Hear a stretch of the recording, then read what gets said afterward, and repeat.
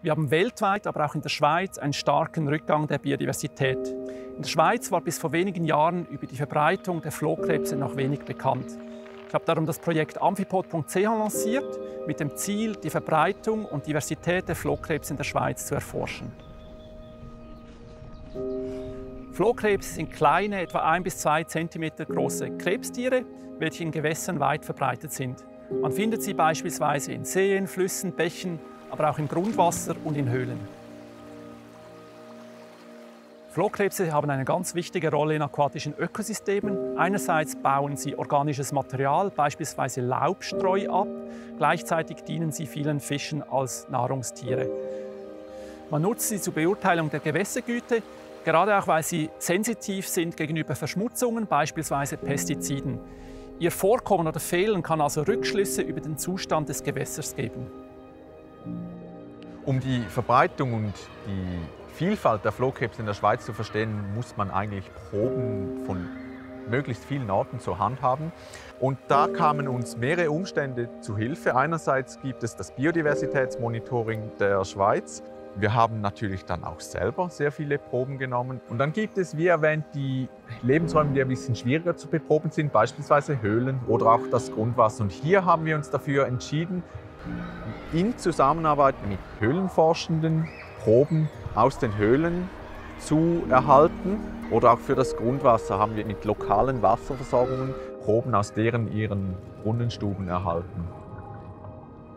Dank dieser verschiedenen Ansätze sind wir dann in den Besitz von mehreren tausend Proben äh, gelangt, die wir betrachten mussten. Also der erste Schritt ist eigentlich, dass man Flohkrebse morphologisch aufgrund ihrer Form bestimmt. Es gibt natürlich offensichtlich auch Unterschiede. Gewisse Tiere haben Augen, andere Tiere, die vielleicht im Untergrund leben, haben keine Augen.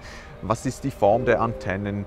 Und dann haben wir auch genetische Untersuchungen gemacht, also ganz spezifische Abschnitte angeschaut und konnten aufgrund dieser Abschnitte dann sagen, um welche Art es sich handelt.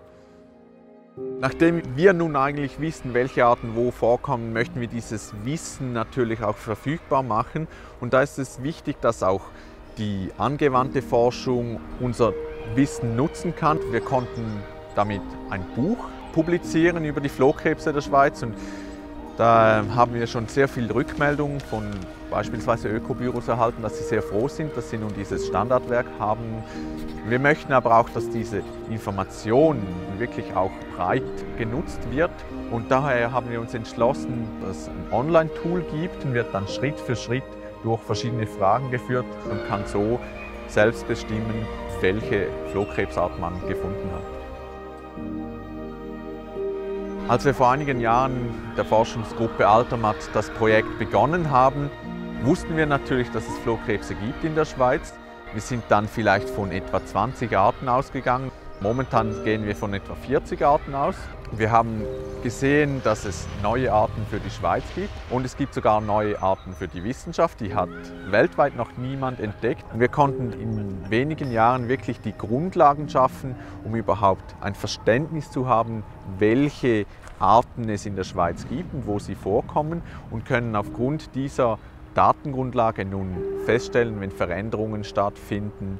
Denn um die Biodiversität schützen zu können, muss man wissen, was vorhanden ist. Man kann nur schützen, was man kennt.